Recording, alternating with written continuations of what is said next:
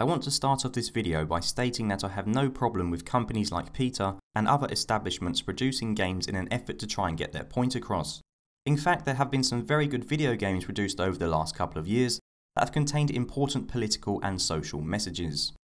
However, I feel that if you want to make a game concerning serious issues, it's extremely important to get the overall tone right and also to make sure that the game is at least semi-competent. Kitten Squad does neither of these right and is an absolute joke of a video game. My first impressions of this game were not good at all. The main menu screen is absolutely hideous, as is the grammar found in the extras section.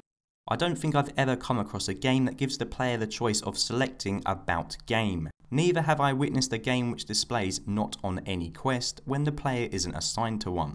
If you want to make a game about a serious subject, it's important not to make the whole thing feel like a joke which is how I felt about Kitten Squad after spending about 60 seconds with it. Things only got worse after I decided to accept a story quest.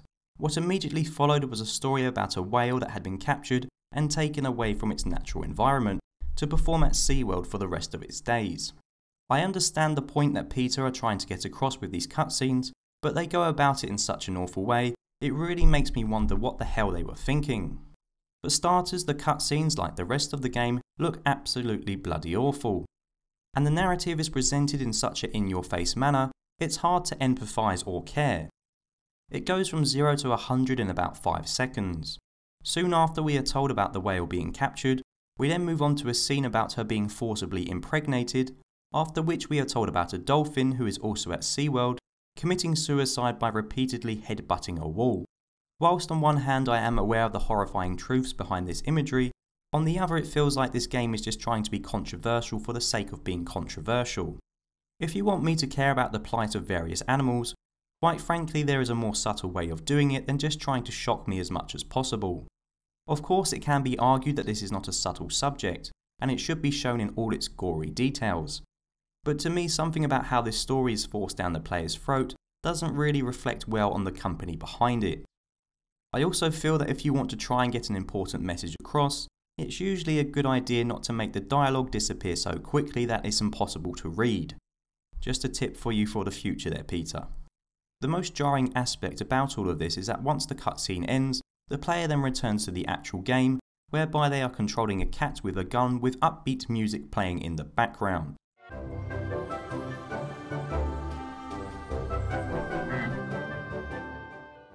It's extremely juxtaposing to be presented with such a horrible story, only to then switch back to what looks like a children's game. It's like walking out of Auschwitz to be greeted by a carnival, it just doesn't make sense. After the cutscene ended, I still didn't really know what to do, so I decided to head off to the open cave at the top of the screen, whereby I was confronted by some kind of robot alien enemies. Please someone tell me what any of this has to do with saving animals. After about 30 seconds of running around and not knowing the controls, I was killed. Now, I find it kind of ironic that a game which is trying to make a point about animal abuse allows the player character, which is a cat, to be killed and turned into a skeleton. It's kind of a double standard if you ask me. I mean, this is a company that had the audacity to moan about Mario wearing a tanuki suit in Super Mario Land, because it, quote, sends out the message that it is okay to wear animal fur. Yet here PETA are killing cats in their own video game. The whole concept of this game is just bizarre and schizophrenic. One minute this game is trying to raise serious concerns about cruelty to animals, the next it's pitting the player against fighting alien robots that can turn a poor kitty into nothing but bones.